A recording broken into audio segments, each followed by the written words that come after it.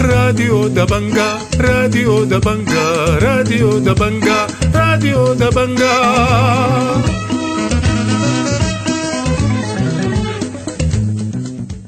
أعزاء في برنامجنا ليوم الأربع 13 من شهر 7 سنة 2022 بيشتمل برنامجنا على نشرة الأخبار وبرامج أخرى متنوعة ولكن في البداية بنقدم لكم نشرة الأخبار ودي عناوينها.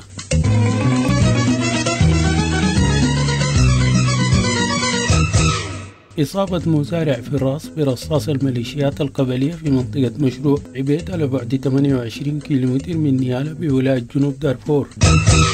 13 من المهاجرين السودانيين يلقون مصرعهم متأثرين بجراحهم أثر احتراق السيارة التي تقلهم في الصحراء الليبية. عبد الواحد نور يقول الحوار المطلوب يكون بالاستماع لمطلوبات الثورة السودانية والتي تعني إسقاط الانقلاب وحل جميع الميليشيات بما فيها الدعم السريع وجمع السلاح وجعله حكرا على الدولة. والآن إلى تفاصيل النشرة من راديو دبنجا يقراها لكم الصادق مصطفى زكريا.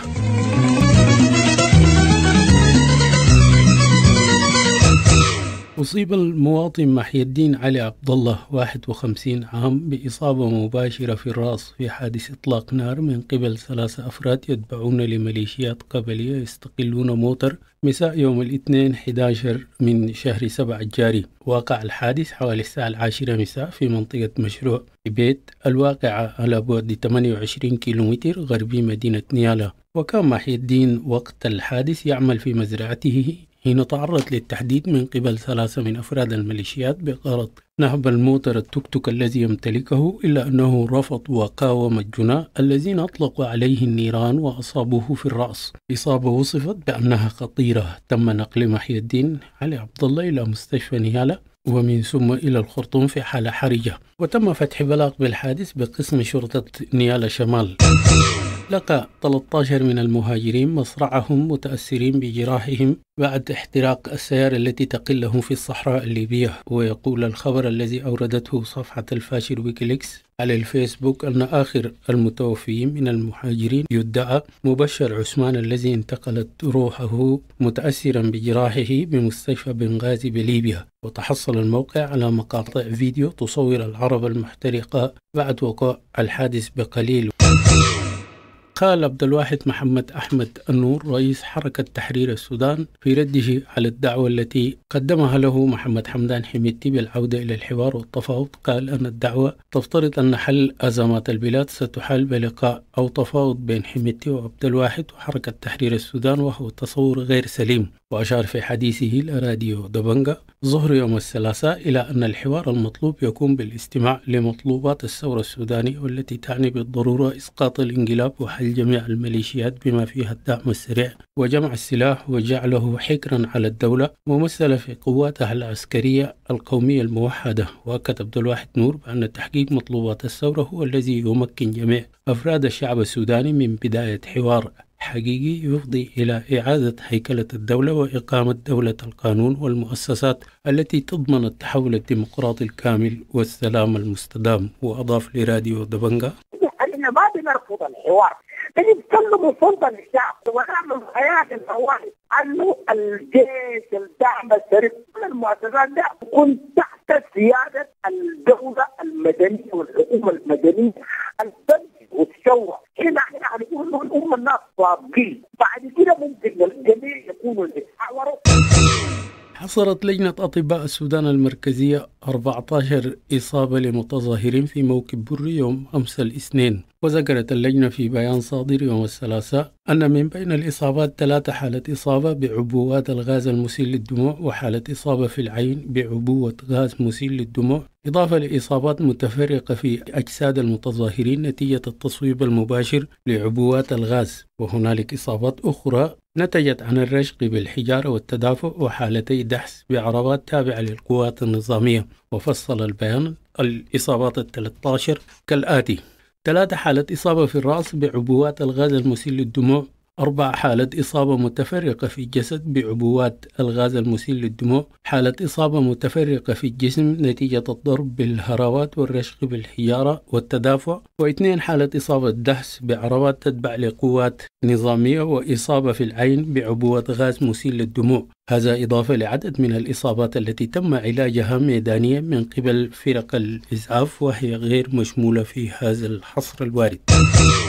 اتهم المقدم معاش عبد الله سليمان عضو لجنة إزالة التمكين الذي أفرجت عنه السلطات حديثا اتهم مبارك أردول مدير الشركة السودانية للموارد المعدنية بأنه كان السبب وراء اعتقاله. وكشف عبد الله سليمان في إرسال حي عبر منصة الفيسبوك إيرات عام كامل من سنة 2020 إلى سنة 2021 في حقل ساوي للتعدين الذي يضم 20 طاحون للحجارة بمنطقة الشريك بولاية نهر النيل لم يتم توريده لبنك السودان أو وزارة المالية. وأضاف أن الكمية المقدرة من الذهب الذي أنتج في مطاحن ساوي التابعة لجمعية القرآن الكريم تبلغ 86 كيلو من الذهب لم يعرف مكانها. وقال بأن أردول عين أربعة من أقربائه في هذه المنطقة. وقال بأنه ذهب للمنطقة بنفسه وصور الموقع واطلع على المستندات وكتب تقرير بذلك. وتمت مقابلة المهندس والفنيين بالموقع قبل تحويل الأمر للنيابة التي فتحت بلاغا في مواجهة أردول. وكان ذلك في يوم 23 أكتوبر من العام الماضي قبل يومين من الانقلاب الذي قام به البرهان. وأشار المقدم شرطة معاش عبد الله سليمان بأن مصير البلاغ في مواجهة أردول غير معروف حتى الآن وأضاف بهذا الخصوص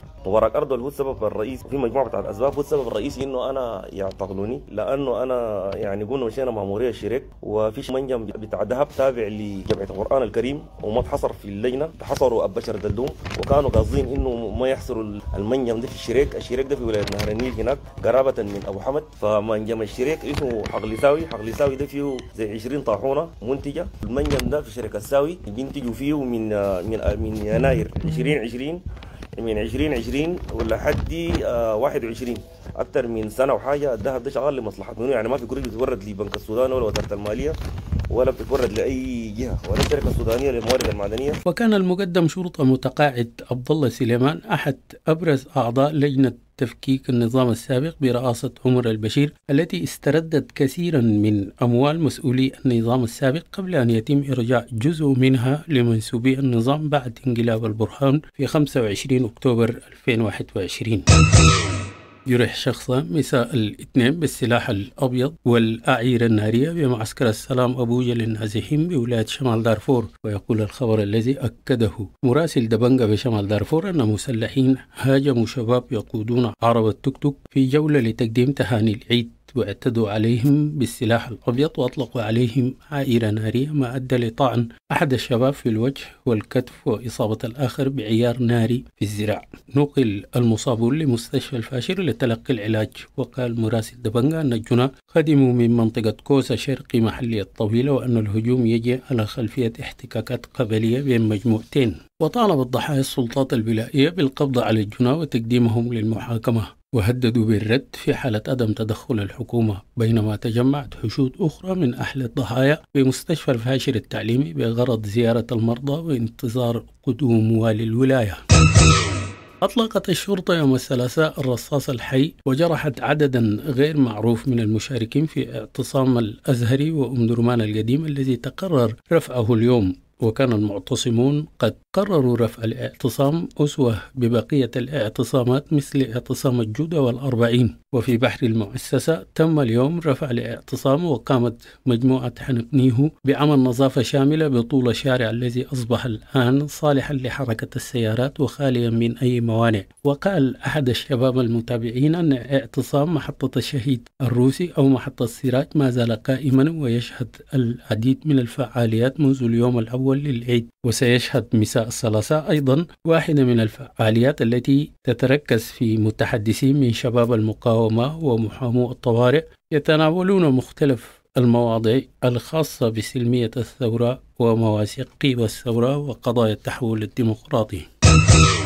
اجتاحت سيول كبيرة بسبب الأمطار الغزيرة التي شهدتها ولاية كسلة عددا من القرى بعدد من محليات الولاية وأدت إلى تأثر عدد كبير من المنازل والمواطنين. وبحسب وكالة السودان للأنباء فأن مناطق واسعة من قرى ومحليات ريف كسلة وغرب كسلة تأثرت بسبب المياه والسيول التي غمرت مناطق الجيرة وعمارة واللفة وفات الأتيمة وحي الشهداء ريبة بمحلية كسلة وقامت اللجنة العليا لطوارئ الخريف بالولاية بتكليف لجنة برئاسة المقدم عثمان السر والدكتور عادل العوض مدير جمعية الهلال الأحمر السوداني وممثل جهاز الأمن الوطني واللجنة الإعلامية بالطواف على المناطق التي تأثرت والوقوف على عمليات فتح الكباري وطريق اللفة والجسر الترابي جوار مباني جهاز الأمن والمخابرات سابقا. وقدمت اللجنة كمية من الجوالات الفارقة للمواطنين المتضررين كما دفعت محلية كسلة بعدد من الآليات اللازمة لفتح الكباري بجانب عدد من المهندسين لمعالجة انسياب المياه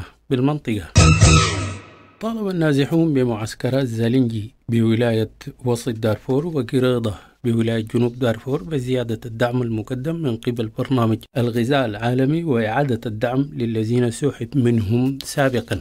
وقال النازحون بأن هناك ارتفاعا في الأسعار وانعدام مصادر الدخل مما دفعهم لهذه المطالبة. وقال الشيخ محمد يعقوب رئيس معسكر الحميدية بالزالنجي أن البرنامج يقدم أربعة آلاف جنيه للفرد في الشهر وأنهم لم يستلموا الدعم الخاص بهم بشهر سبعة حتى الآن وأشار إلى أن البرنامج قسم النازحين بمعسكر الحميدية والبالغ عددهم حوالي 74 ألف نسمة إلى ثلاث فئات. فئة تتلقى الدعم شهريا وأخرى تتلقى الدعم في كل ثلاثة شهور مرة وأحيانا أخرى كل ستة شهور مرة. أما الفئة الثالثة فهي لا تتلقى أي دعم. وبين الشيخ يعقوب بأن النازحين الآن جميعهم غير مقتدرين ولا يستطيعون مواجهة تكاليف الحياة وليست لديهم مصادر للدخل. لذا يجب إعادة الدعم للكل وزيادة نسبته لارتفاع الأسعار بصورة عامة. وأضاف لراديو دبنجا في ناس ما بيصرف لهم في كروت واحد واثنين وثلاثة وأربعة.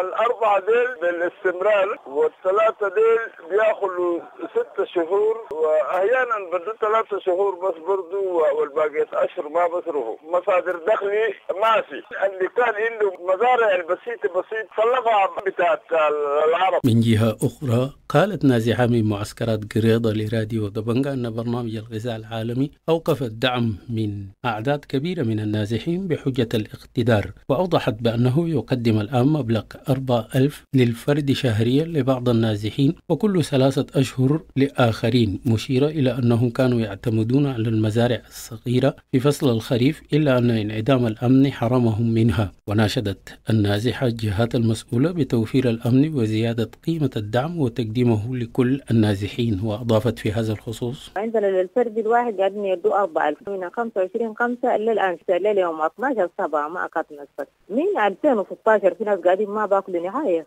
ما عندهم حسة باكلوا والله. ممكن تمشي في بداية تزرع زمن الحصاد بيجيبوا بحايم كله يربطوا الزراعة ناس بيكونوا ما عندهم يعني. إحنا في بداية دايرين توفير الأمن اثنين دايرين مزيد من الإغاظة ودايرين الناس اللي ما قاعدين ياكلوا ده يحاولوا يصلحوا لهم كروتهم عشان ياكلوا معانا. أطلق المزارع أحمد بابكر الضوء شولة مبادرة وسط المزارعين ترمي لقيام شركة زراعية لكل مجموعة من المزارعين ليتم تسجيلها وتعمل في مجالات توفير المدخلات الزراعية من الآليات وقطع الغيار والوقود والتقاوي المحسنة. وقال المزارع أحمد بابكر في أكبر جروب للمزارعين بولاية القضارف والأكثر انتشارا أن الشركة ستقوم بتوريد الآليات والأسمدة والمبيدات وكافة احتياجات المزارعين من بلد المنشأ دون الحاجة لوسيط يضع أثقالا من الأرباح كما تقوم بتوفير الجازولين الحر بصورة مباشرة وإنشاء مستودع يخص المزارعين. وأوضح أن هذه الطريقة تخرج المزارعين من نظام الشركات ومن سيطرة الممولين وتحكمهم في الأسواق. مضيفا إلى أن الشركات ستقوم أيضا بالدخول في تسويق المحاصيل المنتجة وتوجيهها نحو أفضل فوائد للبيع. الخبر الأخير في النشرة. وجه المهندس أبو بكر عبد الله محمد الوزير المكلف لوزارة البنى التحتية بولاية الجزيرة وجه بتوفير الاحتياجات الضرورية الخاصة بأعمال طوارئ الخريف وأشار خلال تفقده العمل الذي تقوم به هيئة الطرق والجسور وهيئة المياه وإدارة الكهرباء وإدارة الدفاع المدني لأهمية الاستجابة السريعة لبلاغات المواطنين والمؤسسات والمرافق العامة واستمرار العمل على مدار ساعات اليوم. مستمعي راديو دبنج الأعزاء بهذا الخبر نكون وصلنا إلى نهاية نشرتنا لهذا اليوم. أنا بشكر لكم حسن المتابعة والاستماع وحتى ألتقيكم في نشرة لاحقة لكم مني أطيب التحايا.